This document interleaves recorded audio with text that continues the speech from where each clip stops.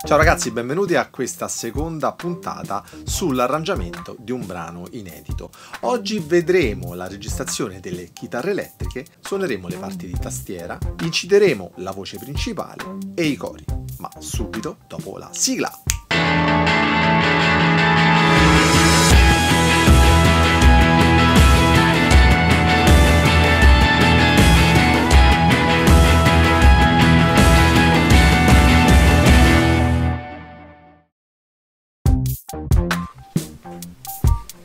Cappello.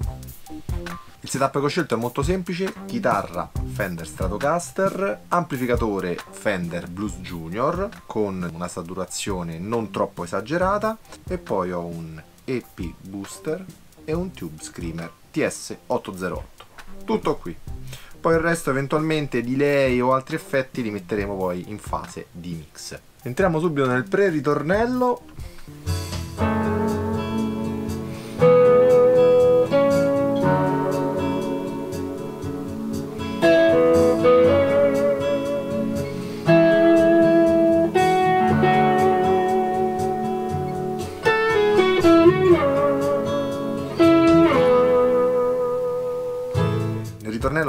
arpeggio ostinato sulla seconda, terza e quarta corda e cercheremo di cambiare meno note possibili al variare dell'armonia.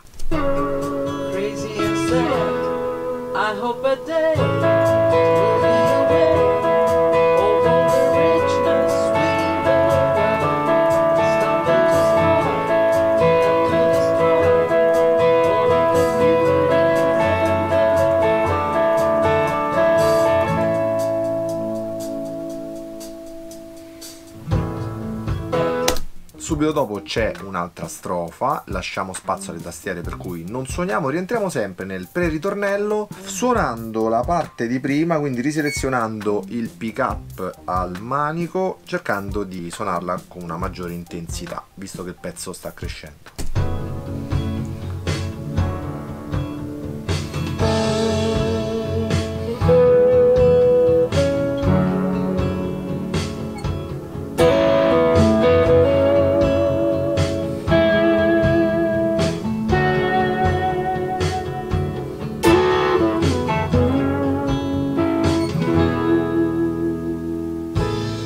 Perfetto, siamo adesso sul bridge, prima degli ultimi due ritornelli, per cui la chitarra adesso deve essere abbastanza incisiva, per cui farò delle triadi sulla zona centrale del manico, tutte e due, una left e una right.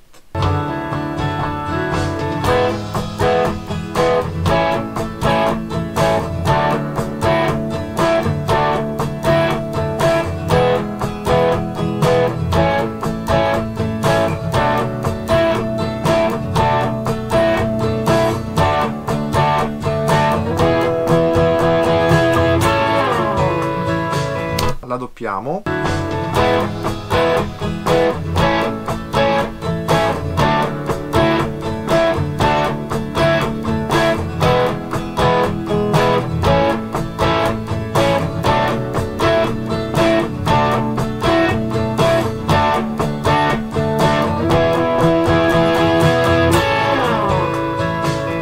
siccome la sento ancora un po' vuota è vero che mancano ancora tutte le parti di tastiera però metterei una chitarra sempre con il suono crunch che ho messo nel pre-ritornello che fa degli accordi semplici aperti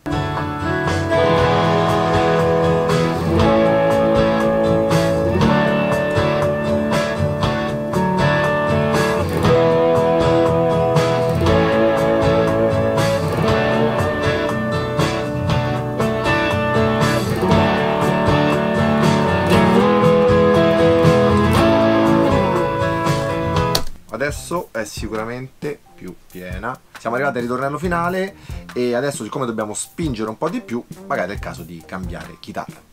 Gibson Les Paul. Mettiamo quindi un ostinato ancora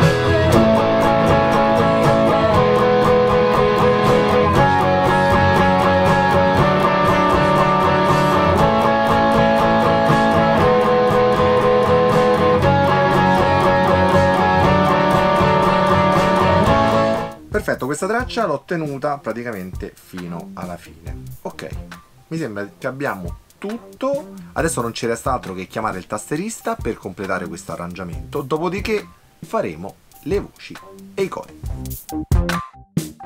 Ragazzi, oggi stiamo registrando le tastiere con il maestro Emanuele Bruno, grandissimo tastierista e pianista, ovviamente. Maestro, cosa ci mettiamo? Un, un piano e pad? Vai.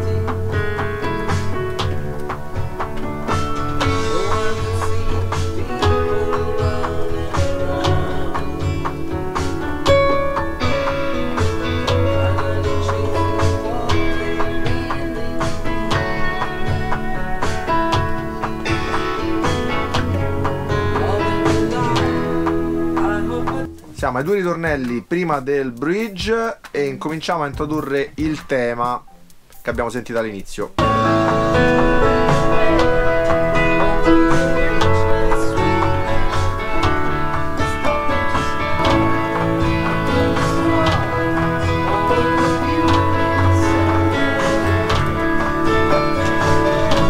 Ritornello finale, il piano con il tema più evidente. Il suono molto più aggressivo. Hammond.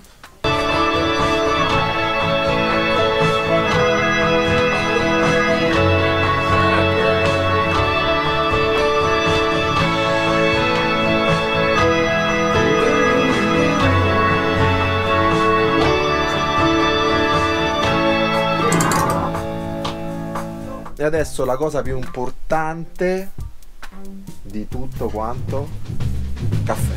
Bel caffè da Gennarino. Caffettino.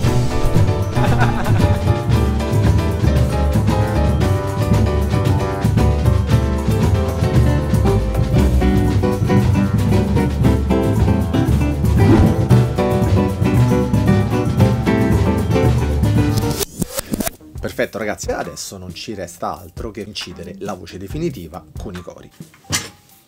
I hope a day we'll be aware of all the richness we've around, stopping to spoil and to destroy all of the beauties in the world. I hope a day we'll be aware of all the richness we've around. Life is a gift to treasure and care. There's so much beauty in the world. Bene, la voce definitiva l'abbiamo fatta, adesso non ci rimane altro che registrare le armonizzazioni vocali e per questo ho chiamato una cantante che conosco molto bene.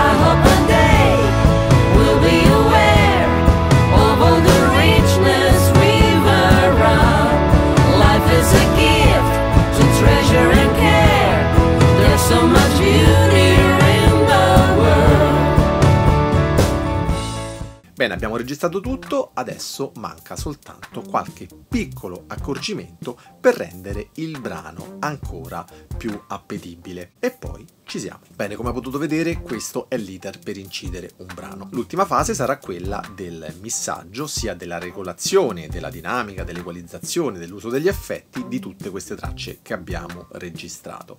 E lo step conclusivo sarà il mastering, ossia quel procedimento che permette al brano di raggiungere degli standard professionali. Bene ragazzi, grazie per avermi seguito ancora in questa doppia puntata sull'arrangiamento e la realizzazione di un brano dall'inizio alla fine. Per cui se ti è piaciuto mi raccomando scrivimelo nei commenti. Magari in futuro faremo proprio degli approfondimenti sulla registrazione oppure sul missaggio, sul mastering. Insomma, ho tante idee, fammi sapere cosa ne pensi. Bene, se il video ti è piaciuto mi raccomando clicca mi piace, doppio mi piace e se ancora non l'hai fatto iscriviti al canale cliccando il pulsante qui sotto. Ciao e e e ci vediamo con il prossimo video. Buona musica!